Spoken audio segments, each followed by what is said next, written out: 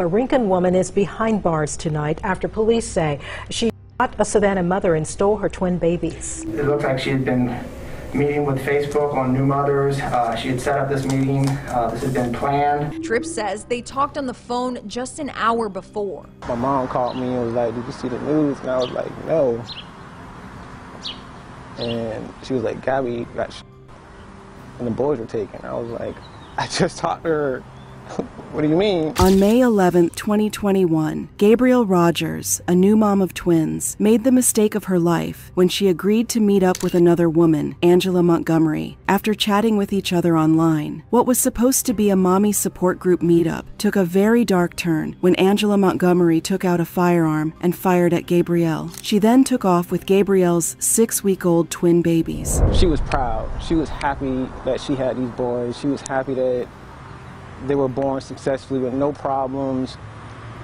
She was just proud to be a mom. At around 10:20 a.m., officers responded to a residence in the 1500 block of NE 36th Street and located Gabrielle Rodgers, 23. She had been fired at and was suffering from life-threatening wounds. Emergency quickly attended to Gabrielle and got her stable before she was transported to the hospital for treatment of her critical injuries. The officers began working the scene right after Gabrielle was taken to the hospital. They found that the door had not been broken into which meant that Gabrielle had invited whoever fired at her into the home. This meant that it was either someone she knew beforehand and possibly invited into her home, or it was a stranger who appeared non threatening enough for her to invite into her home. The officers on the scene also discovered one more thing, something that took the investigation on a whole different route. They discovered that Gabrielle Rodgers had just had twin babies, boys, and a search through Gabrielle's house showed the twins were nowhere to be found. They were declared missing. This provided a problem. The officers were not only looking for someone capable of taking someone else's life, but who would take children as well. This opened up the investigations to many possibilities. The first one being Gabrielle's partner and the father of her babies. In incidents like Gabrielle's, the officers typically first look at the romantic partners, especially with the children being taken. There was more of a chance that a disgruntled partner or ex partner had planned to end Gabrielle's life and take the babies. According to a 2021 study carried out by the Center for Disease Control, 55 5% of homicides relating to women are perpetuated by their partners. Over half of the unalivings of American women are related to their partners, with the vast majority of the victims suffering at the hands of a current or former romantic partner. The CDC analyzed the unalivings of women in 18 states from 2003 to 2014, finding a total of over 10,000. Of those, 55% were intimate partner related, meaning they occurred at the hands of a former or current partner or a family or friends. Add the kidnapping of children to the mix, and the number goes even higher. The report also debunks the strangers in dark alleys narrative common to televised crime dramas. Strangers perpetrated just 16% of all female homicides, fewer than acquaintances, and just slightly more than parents. In the case of Gabrielle Rodgers, the officers decided to explore that theory and immediately started investigating, but before they could get anywhere, they got a break in the case. While some officers worked Gabrielle's house trying to look for clues, others spoke to neighbors who were around at the time of the attack and who saw or heard anything. The officers certainly got a lot of information from the neighbors, information that would alter led them to a huge break in the case. A few neighbors told the officers they had indeed seen something. They saw a woman fleeing Gabrielle's house with her twin boys, Mateo and Lorenzo, immediately after a loud bang was heard. But that wasn't all. They also told the officers they had seen the woman in question flee with the boys in a white sedan. On Tuesday, police were called to Rodgers Savannah home on East 36th Street, where they say a woman her multiple times and then took off with her six week old babies. Armed with the information from the neighbors, it would seem Gabrielle's partner would be off the hook, at least until the detectives gain more information on the case. Detectives in charge of the case worked quickly to gather leads on the suspect, who the neighbors had initially identified only as Kathleen, possibly being in Effingham County. Now, while the detectives were investigating all the Kathleens Gabrielle could possibly have known or come across, they also asked for for help from members of the community asking for tips that could help them catch the Kathleen in question. They posted an alert on their official X, formerly known as Twitter, page with details on the description of the woman they were looking for, as well as the car she was suspected to have been driving. Hashtag SPD Alert SPD is looking for a black female, possibly named Kathleen, photo from previous day. She has six week old boys named Mateo and Lorenzo, who were taken during a shooting on NE 36th Street. She is traveling in a white sedan, possibly a Kia Optima. Anyone with info call 911. The tweet read The tagged photos of the twin babies, Mateo and Lorenzo, as well as photos of the possible suspect with a photo of the white sedan. They also sent an alert obtaining similar information to everyone's phone. 26. Week old twin black males last seen leaving Savannah with a black female driving a white four door sedan, Nissan Altima or Kia Optima. Members of the community who were on Twitter rushed to respond to the alert on Twitter, saying they hoped the babies would be found soon. Hey, so. Just got the Amber Alert. Hope these kids are returned safely, one person wrote. Just got this? Hopefully they are returned to their parents, and also the car is a Kia, another person added. In no time at all, tips started pouring into 911, and some of the tips were very useful and assisted in the speed of the case. Around 2:30 p.m., SPD detectives and SWAT, with assistance from the Rincon Police Department and Effingham County Sheriff's Office, stormed the home of a woman named Angela Kathleen Montgomery. Her residence was on St. Andrews Road in Lost Plantation in Rincon. The twins were also located at the residence, and though they were unharmed and appeared healthy, they were taken to a nearby hospital for medical evaluation to find out whether they were indeed healthy. Once they were determined to be safe and healthy, the Savannah Police Department shared a photo of the babies in an attempt to provide an update for the members of the community via X, formerly known as Twitter. Update Mateo and Lorenzo are safe in the arms of officers after being taken from their home in Savannah earlier today. The tweet began, adding, The suspect is in custody. More details will be available later today. Thank you to everyone who shared our post and called in tips. Members of the community were happy and very relieved that the twin babies were both found and they were unharmed. One ex user shared their excitement, saying, I am so happy they were found safe, and I hope their parents never take their eyes off of them. I am so grateful that some, everyone, had their eyes open and they found them. Wow, this is great news. Another ex user added, Thank you for saving the babies. After receiving dozens of tips from people in the community, police tracked down the suspect, Angela Montgomery, to this house in Rincon.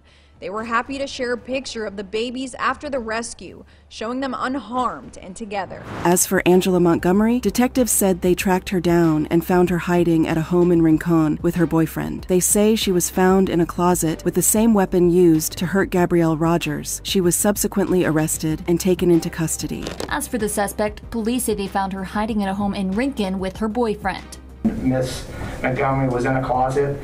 Uh, the victim had been shot with a 40 caliber pistol.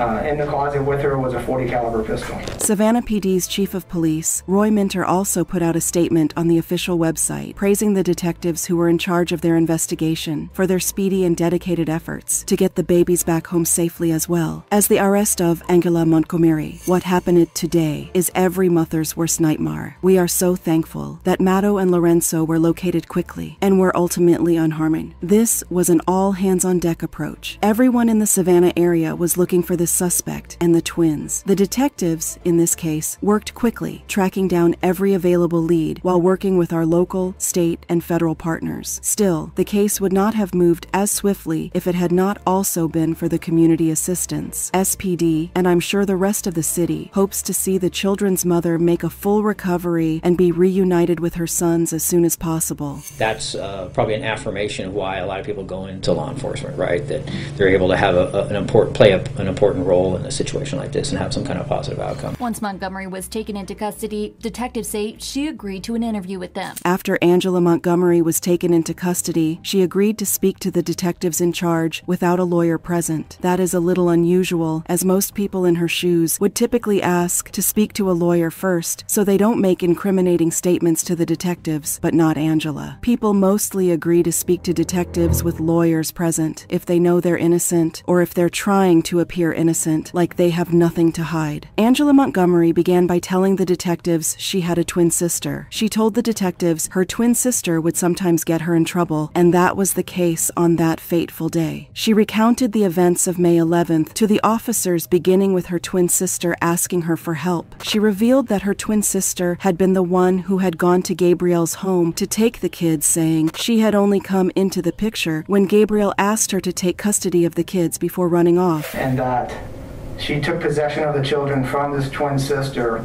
uh, and then tried to pass them off as her own children. She said after her twin sister dropped the babies off at her home, she had tried to pass on the babies as her own. But upon further investigation, the detectives discovered none of what Angela had told them had been true. She said she was unaware of the crime, that she was assisting her twin sister, which she does not have, To start with, she did not have a twin sister, which meant she was the one who had committed the crime and only sent the detectives on a wild goose chase, probably hoping they wouldn't find out the truth. All through their investigation, folks in the community wondered what the connection between Angela and Gabriel was. Police have not revealed how the women knew each other. The investigation is still ongoing. But people would soon find out how Gabriel came to know Angela enough to invite her into her home, as the detectives found out more in their investigations. Detectives revealing more information about that shooting and twin kidnapping in Savannah Tuesday, including how the suspect, Angela Montgomery, met the victim. The detectives revealed that Gabriel had not known Angela for long. In fact, she met her only a few weeks before the tragic incident. Well, we can't say she met her, because in the true sense of the word, she hadn't met her until that fateful day. But she had been chatting with her online way before then. It was revealed that Angela had sent Gabrielle a request on Facebook after finding her on a new mom support group on the app. They had struck up an online friendship before agreeing to meet at Gabrielle's home, of course, the entire time. Angela had had other plans in mind and wasn't really looking to be friends. It looked like she had been meeting with Facebook on New Mothers. Uh, she had set up this meeting. Uh, this had been planned. It was also discovered that Gabriel hadn't been the only one Angela was chatting with on the app. According to the detectives, she had chatted up many new mothers who had been part of that support group. It just so happened that Gabriel was the one she connected with the most. If she hadn't been captured, she might have gone back on the app and tried to trick other new mothers into trusting her and inviting her into their homes. The detectives also provided an update on Gabriel's condition, saying she was in critical condition but was stable and responding to treatment, and they hoped she would make a speedy recovery. Detective Patrick Skinner said the suspect the victim in the head and chest.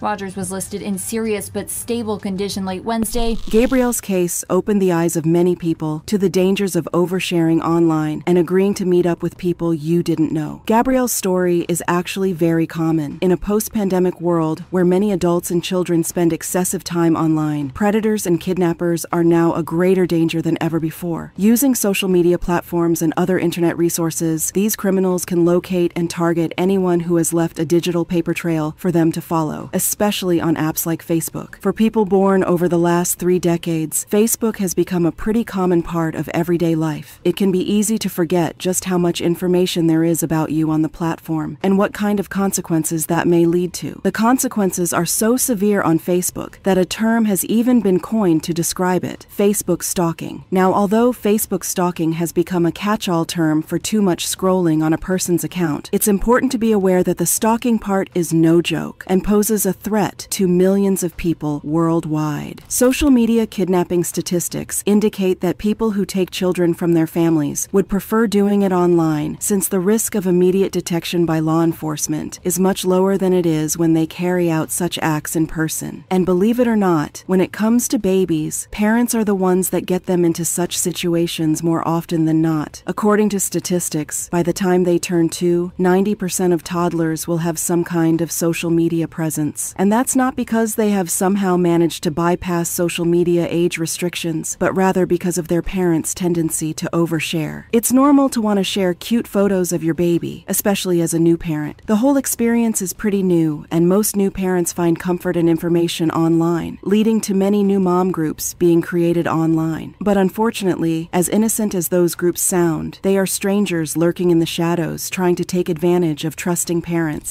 According to statistics, 56% of parents share potentially embarrassing information about their children online. It's even called sharenting. A study by the University of Michigan that explored sharenting, which means parents sharing pictures of their children on social media platforms, further found that 51% of parents provide details that could result in potentially dangerous people being able to figure out their location. Another 27% shared inappropriate pictures. These figures show that parents need to educate themselves on how to behave in the digital space when it comes to sharing content that involves their children. The world is getting increasingly dangerous by the day, and loads of people are taking advantage of innocent media platforms to perpetuate their crimes. So if you want to keep your babies safe, it's important that you are more selective of what you share online. Set limitations on who can view pictures of your children and never disclose their location. Gabrielle's case also helped shed light on the fact that a lot of these people who take children are women. Research shows that many of the perpetrators are females who appear non threatening, and some of them even have children of their own and use photos of their children or other photos they find online to make other women feel safer with them. Most mothers are more likely to trust women with children and older women than they are to trust younger women with no children or even men. In some similar cases to Gabrielle's, the criminals were found to be part of virtual adoption agencies where prospective mothers bid on photos. But in the case of Angela Montgomery, the detectives were still working on figuring out the motive. As for the investigation, officers are still trying to determine a motive. Though Angela was quick to spin a web of lies in her favor to try to get the detectives off her scent, she was not very forthcoming when it came to why she chose to attack Gabrielle Rodgers.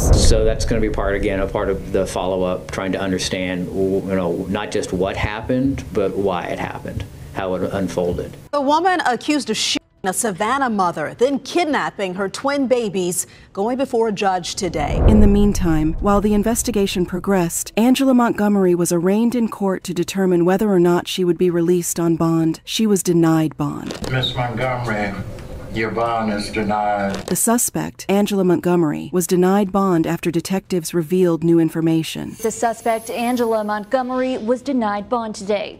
This after detectives revealed new information. The detectives revealed to the court that Angela Montgomery had been calculated in her actions. They told the court she had joined a new mom support group online and had been communicating with several mothers on Facebook, one of whom was Gabrielle Rodgers. They told the court she had set up the meeting, which led to her critically wounding Gabrielle Rodgers and running away with her babies. The detectives also shared with the court Angela's attempt to deceive them by telling them many lies and sending them to dead ends. At the end of the hearing, after the bond denied Angela's bond, her attorney requested that she undergo a mental health evaluation. At the end of Wednesday's court hearing, Montgomery's attorney requested that she undergo a mental health evaluation. The aim was to determine if Angela was fit to stand trial, especially because she wasn't given the detectives anything that could help them determine a motive. But the investigation was still ongoing, so members of the community held out hope that they would soon be able to understand while this tragic event took place. As the investigation progressed, it's also possible that new charges would be announced, especially in relation to Angela's boyfriend, who was also found at the same home with the twins. Now, Brooke, you said the suspect was found at a home with her boyfriend, so can we expect more arrests?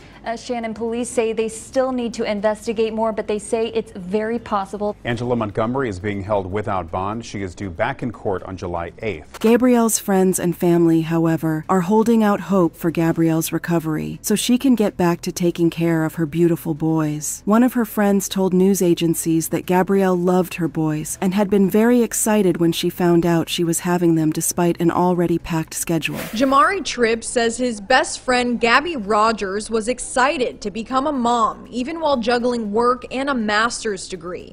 In April, she gave birth to two healthy twin boys, Mateo and Lorenzo. The friend said Gabrielle was proud to be a mom and was beyond happy when her twins were born. She was proud. She was happy that she had these boys. She was happy that they were born successfully with no problems.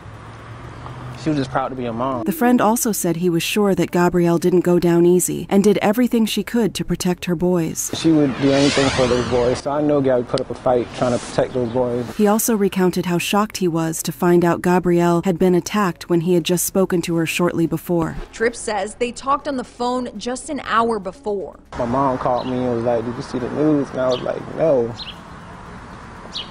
And she was like, Gabby got shot.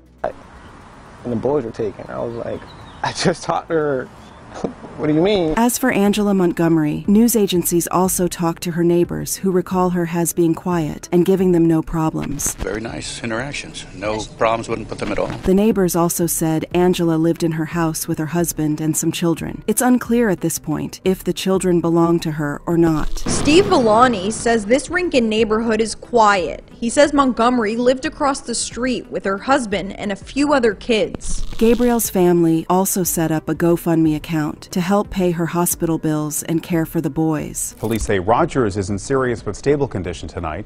Rodgers' sister has set up a GoFundMe account to help support the boys. In the caption for the GoFundMe, Gabriel's sister gave an account of what happened to her sister and pleaded with people to help their family. Hello, everyone. My name is Brianna Young. I am the oldest sister of Gabrielle Rodgers and the aunt of Lorenzo and Mateo. Tuesday of May 11th, 2021, my sister was multiple times, and my nephews were kidnapped. Thankfully, God was watching over all three, by the boys being found within 4 or 5 H8Rs by Savannah Police Dept, and my sister undergoing surgeries to prayerfully reach 100% recovery soon. As we are praying, we ask if you may also pray for a speedy recovery to 100%. If there is anything you can donate, we greatly appreciate your prayers as well as donations. Your donations are truly a blessing, which will be going towards her medical bills, diapers, milk, etc. Thank you very much. God bless. As of the time of the making of this video, the GoFundMe has raised more than $19,000. Thankfully, Gabrielle was able to make a full recovery and go back home with her two boys. As for Angela, she was evaluated by a mental health professional at the request of her lawyer. She ended up pleading guilty to three charges, but added that she was mentally ill. It is unclear if she will be serving her sentence in a mental health facility or prison. Hey, thanks for watching. We honor those affected by this tragedy and welcome your